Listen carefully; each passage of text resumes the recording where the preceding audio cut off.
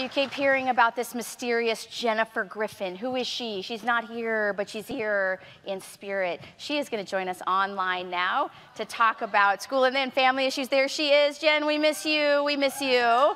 There she is. If you need help navigating the LGS journey, this is the woman on our team who makes that happen. So, Jen, take it away. Geez, no pressure.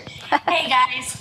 Um, Yes, I'm Jennifer Griffin. I am the Director of Family Support at the LGS Foundation. And most importantly, I am Theo's mom.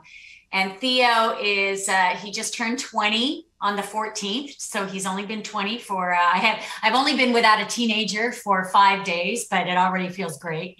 Um, and I'm calling this talk, um, um, what I'm calling it LGS. Uh, what is it? I, have got a piece of paper in the way. LGS through the lifespan, the novel.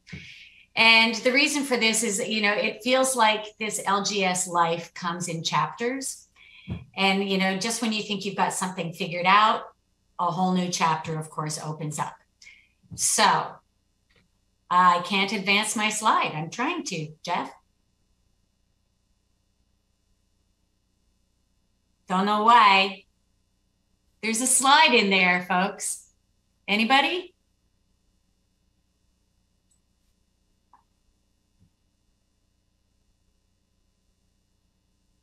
Well, anyhow, I don't know if can somebody advance my slide? It was working before. There we go. Okay. so um so you know which one of these is your story? I mean, uh, obviously, all of our lives kind of are a mystery, sci fi, whatever they are. I tend to lean towards the comedy. But my particular favorite in this um, of these images is the uh, the smooth sea never made a skilled sailor, and let's face it, we are all very skilled sailors in LGS land. So I'm going to open up this book at uh, chapter one, and um, IDEA is the Individuals with Disabilities Education Act. And it has four parts, but for the purposes of this talk, I'm only going to focus on parts B and part C. And like everything else in this crazy journey, um, part C comes before part B, go figure. So that is birth to three or early intervention. Uh, it's called early start in California, where I live, but it, it kind of works like this your child is identified as having a developmental delay. It's just a delay at this point, okay? And from there begins what um, others and myself have referred to as alphabet soup. It begins with that first IFSP, which is the Individualized Family Service Plan. Um, and thus begins your world of acronyms that will lay out um, as you as you walk through this life um, they'll they'll uh, they'll be receiving this plan that will be helping them catch up. Um, it's not a delay or it's not a disability, as I said, it's a delay. And they in there you will find you will get services like OT, PT, more acronyms, occupational therapy, physical therapy, speech, SLP, it's a speech language pathologist. Um, and then you can also receive services like, you know, medical or nursing or vision or hearing. And all of these are to be provided in what they call a natural environment, um, be it your home or um, or a, a child care center. But there, it's not going to be it's not going to be a center based thing. So it's not going to be something where they where they tell you to go to this particular center for these services. For the most parts, it's really supposed to be in a natural environment. And um, it's reviewed every six months, it's updated annually. And then when your child is about two and a half, you're going to have the first of many IEPs. But I'm going to get to that in a minute because there are other issues that you are probably facing at this time. It's been spoken of a lot over this last weekend.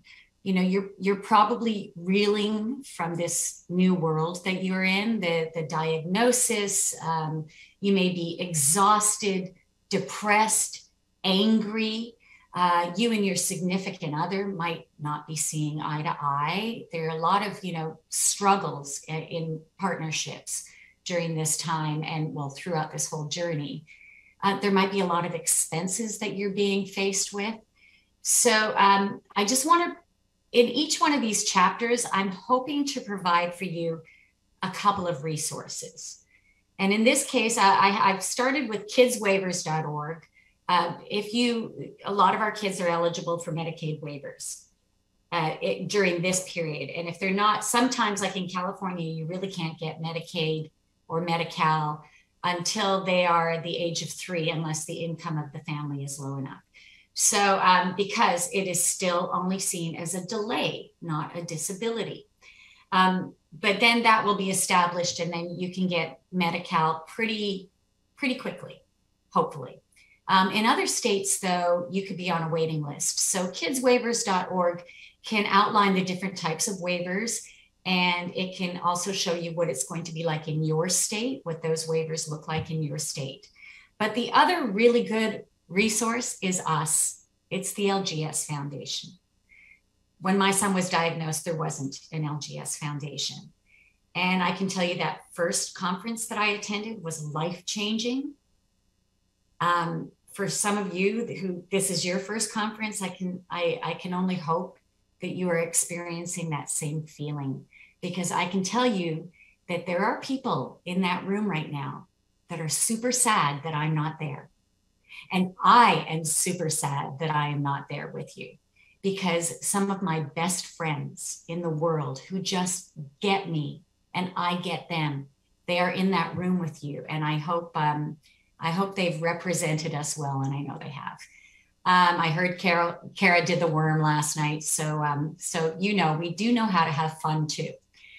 Um, and you know, also um, uh, the oh, okay, I'm I'm I'm I'm sort of going off off uh, off topic here. So I want to get back to the IEPs, the dreaded IEP. That is the that is the scary acronym that I'm talking about right now. And let's get on. Let's get into that one. Okay. Um, as I mentioned, you are reeling from this steep learning curve that you're on. When I attended my son's first IEP, I walked into a room and there were like 15 people there. I didn't even know why I was there. I was told it was his IEP, I think. I'm sure I was. I didn't even know what an IEP was. There was just all these people, and then, then we talked about stuff. And then at the end, I was asked to sign something, and that's it. So let me tell you how um, the IEP works. But before I dive into that process, I'm going to share two of the most important acronyms for this process, and that's FAPE and LRE. Um, IDEA states that your child is entitled to a free, appropriate public education, FAPE, in the least restrictive environment. I'm not going to dive any deeper than that at this time. So let's the process itself, it begins with what they call present levels. So the, the parents and everybody else are going to weigh in on who this child is. And hopefully they're going to say some nice things about your child as well. We don't want to just hear all of, all of the, uh, the bad stuff or the, the stuff that makes us worried, but really we are focusing on the areas of concern. And then we're going to determine who's going to assist, um, or we're going to determine some goals and then we're going to determine who's going to assist in meeting those goals. So is it going to be the OT, the PT, the speech therapist, the teacher, etc. And then we move on to supplementary services and accommodations and modifications. So that could be, um, uh, you know, busing or um, preferred seating or uh, an instructional assistant, all those different types of modifications and, and uh, supplementary services. And at the very end, then we discuss placement. So, where are these services going to take place? Is it is it going to be in a special day class? Is it going to be in a school that's other than your neighborhood school? Um, is it going to be in the general education environment? So, so this is what they call your offer of FAPE when it's all determined. So then now you're asked to sign it. Okay. If you agree with everything, you sign it. But this is where I recommend putting on the brakes. I mean, even if you're you're feeling good, I suggest that you say to them, you know what? I'm going to take this home. I'm going to digest it and just really review everything I think I heard. And then I will sign it and get it back to you. And believe me, in our case, they don't even ask me to sign it most of the time. They'll just because they know that, that that's a perfectly reasonable request. And you know, there are a lot of single parents there or parents who might have to attend their child's IEP meeting without their significant other. Um, so if you're alone, that really is not okay. I think that I, I really recommend bring a friend with you, somebody who can take notes so that you can be fully present in that meeting. So just know, especially for those younger families um, who are newer to this process, you know, you don't realize that you are the major stakeholder in this enterprise. These services cannot begin without your signature.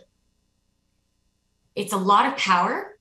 And I just want to remind you that you're going to be doing this probably for 19 more years potentially. So, whatever you've been told by a lot of, you know, well meaning families, well meaning, um, is don't go into it expecting a fight you know, the, Tracy, I think, mentioned this yesterday. Educators do not get into this business for the money. They usually get into it because they like children and they want to help. So just if you're confronted by uh, something that really does not make sense to you and you're feeling like they just said something that doesn't make sense, ask for help. Do what Karen did with her dentist. You know, ask for that person to, get, to be on your team with you because the I in IEP is the individual, it's your child. It, this, this is all about that individual. We are circling around that person. It's not about you, it's not about them, it's about your child. And if everybody can keep that in mind, the chances of success are going to be greater. And I can't hear the audience right now, but I'm going to hold for laughter, hopefully hopefully. All right, laughter has subsided. Let's move on. Okay, so IDEA Part B continued. I just want to just kind of break it down into um, into different parts. I mean, the the um, elementary part is actually focused more on accessing the curriculum. So the same curriculum that the students in general education are receiving they're going to try to adapt that curriculum for your child. So it could be reading, writing, arithmetic, uh, history, and science, anything. Um, if they're discussing bears, the OT and the PT and the speech pathologist, well, maybe not the PT, but the speech pathologist, they're going to be trying to, to work with your child, bringing, you know, bears into it or bats or whatever it is they're talking about, state history. That's all going to be part of the um, the focus at that time. But once they get to junior high, the focus will shift slightly and it will be more focused on activities of daily living. Um, so let's let's you know let's make sure that they're that they're focusing on things like personal hygiene and dressing and undressing. Doesn't mean that they're giving up all of the academics, but we want to make sure that we're developing as many uh, skills of independence that we can and so, you know, if, if they're just teaching them to tidy up their desk, my son loves water, as most of our kids do. And I remember they used to do things like he would wash the dishes with an assistant, you know, somebody, an aide helping him um, to, to just sort of, he'd love it because he was playing in water, but they were teaching him an activity of daily living. Now, between the ages of um, 14 and 16, they're going to, they're, they're probably going to begin this transition beyond high school, that's the, the discussion will begin, not the actual transition itself won't, but they'll start, you know, talking to you in those IEP meetings about what do you envision for the future. So just know that that's, you know, that that is just something that you can you can start considering at that time, but you don't have to have an answer. Now, if they are on, um, there's these two tracks, the certificate of completion or the diploma. If they are on um, um, a diploma track, it means that they're they're academically trying to keep up with their peers. That probably doesn't that that doesn't describe most of our kids. So they're going to be on a certificate of completion track, but it doesn't mean that they can't have the actual graduation experience at the end of 12th grade. Like they're going to wear the cap and gown, they're going to be handed something that looks like a diploma, but it's really going to be a certificate of completion. And this, um, you know, those who do actually get a diploma, they will then their their services will probably end, and you'll probably stop having IEPs, and they will move on to something post secondary. But for those who receive the certificate of completion, those who do not actually graduate with the meeting the academic requirements, um, they'll most likely continue into a transition program post secondary. Now, a lot of those programs are um, are housed in the same place. They may be in your, the high school. Um, they might be off campus somewhere else. They might be in a local community college. Um, and these are still funded by your local education agency. But it's here that I want to describe or discuss, I should say, um, life beyond school during this period because it's not just school 24 7. So I, have um, I've broken it down, of course, into these two areas. And so let's get the medical stuff out of the way. Uh, this often feels like it eats up our entire life, but you know the mental health needs of the caregiver have been discussed a great deal at this conference, and I'm so happy about that because you know caregiver self-care and burnout and all of those things. I mean, Charles Wagner said it so eloquently when he was when he in his keynote speech, if you can remember back to two days ago, you know he had to take care of himself if he was going to be able to take care of his child. And a lot of us, you know, we consider that we don't always do it well. I mean, we all fail at that occasionally. Nobody is consistently a great parent or a perfect parent. We're great, but we're not perfect. We don't need LGS to teach us that lesson. I mean, we're probably we're parenting and, and possibly failing our LGS child, but many of us have the the great privilege of you know parenting and failing typically developing children as well. So just give yourself a break. You're doing the best you can and ask for help. Try to find some respite. Sneak in some time with your your other children or your significant other. I mean i think one of the best things i heard this weekend was william wednesday from kaylee keene and what Jeannie Schnur said about um, about how her kids get um, the, the the birth date every month. Um, that day is the day that that child gets to be celebrated, and they get to have the spotlight on them. So uh, the LGS Foundation has uh, we have a siblings page, and the siblings who are my favorite people in the world. I have two older children who are madly in love with their brother, and they are amazing women. Um, the LGS Foundation's website has, uh, you know, the the SIB kits, the VIP the VIP SIB kits. They are free. So go to the SIBS page and order your sibling, if you haven't already, um, a SIB kit, and we will mail that out to them. And also, if you want to have them spotlighted on the siblings page, please fill out that form and hopefully we'll get that up on our website as well. Um, I think it was Dr. Knupp that mentioned in her Friday morning talk about, you know, she she was the one that started that discussion on, on the comorbidities in LGS. Because we're not just talking about seizures, as has been mentioned many, many times. Um, and as Kara actually said yesterday, yes, I refer to them as my son's collection of ologists.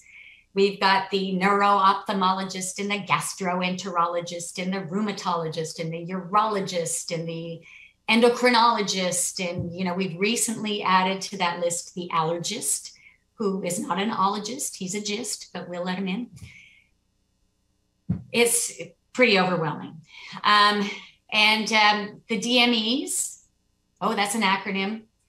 Um, durable medical equipment. Our kids come with a lot of stuff the standers and walkers and wheelchairs and helmets and all of that. Um, I need a bigger house for all the stuff that my son comes with. But let's talk now about the fun. Okay. I mean, I can honestly say that I have been able, Theo, my whole family, we've been able to bring fun into Theo's life. It's out there. I mean, Little League has the Challenger Division, and that is a, a national organization, and you'll probably find Challenger divisions in your community, I hope. We did this for nine years, and it really brings tears to my eyes when I think of, you know, sitting there on a Saturday morning and on a warm day, just watching Theo with, you know, maximum support by a very amazing volunteer, um, helping my son just play ball. He also did something called the Best Day Foundation. My son surfed. It was like a, a car seat that had been bolted into a surfboard. And he had a helmet on and everything. And he had, again, maximum support by some wonderful volunteers who helped him to just get out there and surf. So look up the Best Day Foundation. And then there are summer camps and all kinds of other like horseback riding and you name it. So if you are not part of our Facebook group, get on that group because people, you know, in your who might live near you might be able to give you a wonderful resource. And there's also, of course, this is a shout out to our ambassadors because our ambassadors are super savvy on how things look in their particular states so and countries so um, please you know please get out there and learn how to how to give your kids some fun and make it ha- make it fun for them um, just know that you have to know first of all what makes my child happy who is he and how to communicate that to other people so here's a little tool this is called a one page profile. I think back in Columbus, I had one of these. I showed this at one of our, our um, conferences. And I, you know, this took me 20 minutes to put together. There's this website called Helen Sanderson Associates, and they have templates. And you can find templates even just just go to Google Images template, um, or find a template for a one page profile. And um, I just, you know, you can you can just customize it however you want. I mean, in this one, I just, you know, talk about what makes Theo happy, what people like and admire about him, what works for him. And then I also included our vision statement, his family's vision statement, how we want the future to look for him. Okay, so this leads me to, you know, uh, Karen was talking about this too, you know, the transition to adulthood. This is a process that really in our community tends to be addressed later rather than sooner. So, when is it a good idea to begin? I mean, I said here now, but really, you know, when your child's around 14, or I mean, the school district mandates it that they that they begin these discussions, you know, roughly between 14 and 16 but the other stuff, that life stuff, I, I forgot to put in there conservatorship. And when when Karen mentioned that, I, I got to tell you, my son had surgery a couple of months ago, and he's 20. The first thing they asked me for is, you know, do you have permission to for the to to uh, have this surgery? And I said, yes, we do. And I handed them that document. It cost us a lot of money though to get that document, which is not good. Um, you know, special needs trusts, they are trusts that that protect your loved one's property so that they can continue to receive essential government benefits such as Medicaid.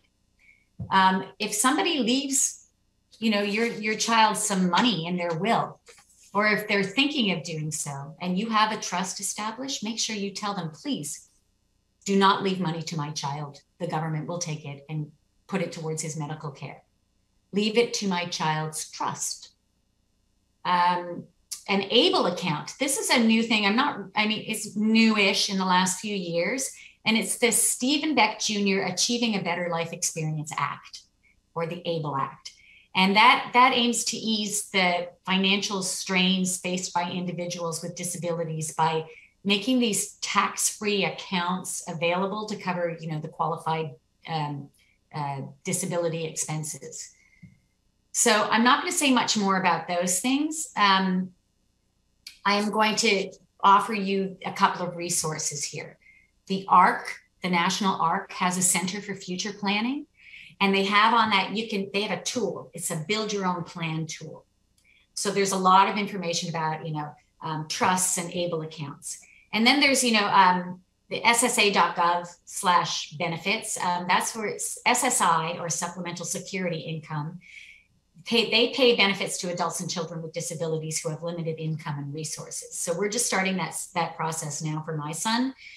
Um, and so SSA.gov will walk you through the application process, um, but in the interest of full disclosure, I can tell you that this process can be daunting, sometimes not user friendly.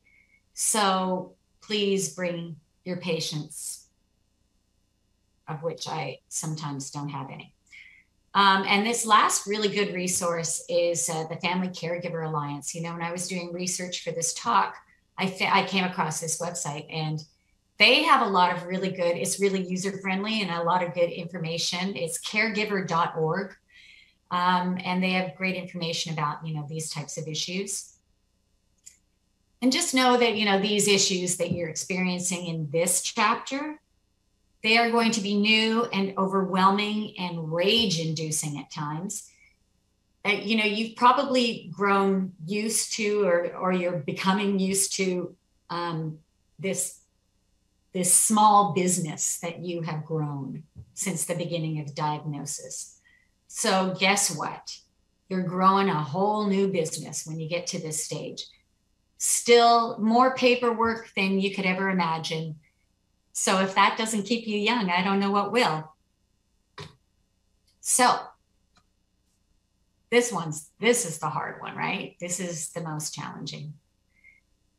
Um, this is where we have to confront um, the mortality reality. You know, I am not going to be here forever. I mean, I think I am, but I apparently I'm not. Um, so, what is the future going to look like for Theo? All of our children. You know, once I'm not in the picture or not able to care for him anymore, is it how will his days look? It, is he going to be in a day program? Will he have a job? I mean, some of our kids might even have jobs. Will his siblings care for him? I hope not. You know, I hope it'll be paid staff, but will we be able to maintain committed and caring and capable paid staff? Hmm. Who is going to care for him? And I always say, not just care for him. More importantly, who's going to care about him? Who's going to love him? Because I insist that everybody continue to love Theo because he is worthy of love. All of our kids are. Uh, the system, again, is not set up for this. You know, funding to disability programs is abysmal. My approach is that I, I have I have to become my son's voice. And at the legislative level, I have to become my son's voice. I only have one thing his story, our story, our family's story. This four chapter novel is it. But I have to condense that to be like a one or two minute le- uh, elevator pitch for lawmakers. But it, it's really an uphill battle. I choose to take it on. I hope that you'll consider joining me you know, the ARC has state branches. So the ARC of California, where I live, I'm a member. I get their Monday morning memo every Monday. And sometimes there's a, calls to action where you just have to sign a petition. You know, it's not it's not completely overwhelming.